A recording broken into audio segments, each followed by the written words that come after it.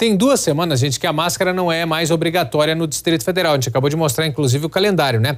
Mas muita gente ainda continua usando. Já para quem vende e produz as máscaras, a diferença nas vendas foi enorme. No auge da pandemia, a procura por máscaras foi grande. A gente tinha que encomendar alguém para poder realizar as máscaras, porque não tinham para vender, era muito difícil. Faltou. Mas aí minha cunhada é costureira, fazia máscara. Aí, aí resolveu o problema. Tinha uma pessoa que fazia perto, aí eu comprei. Foi a sua, a, o seu artifício? Isso, é costureiras da região, aí eu comprei. Sim, o acessório chegou a faltar em muitas fábricas. Com o tempo, o mercado se ajustou e a produção foi normalizada.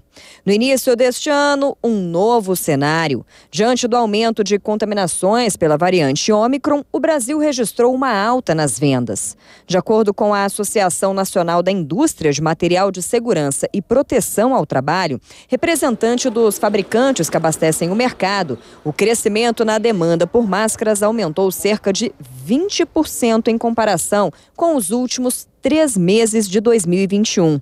Mas isso pode mudar de novo. Alguns estados flexibilizaram o uso de máscaras e aqui no DF não foi diferente. Desde a semana passada, o uso não é mais obrigatório e essa nova medida já interferiu no mercado. Algumas empresas perceberam uma queda nas vendas em apenas uma semana. É o caso desta fábrica de produtos hospitalares. Há 20 anos no mercado, eles vendiam apenas para hospitais e grandes empresas. Na pandemia, criaram uma loja virtual para atender o público de uma forma geral.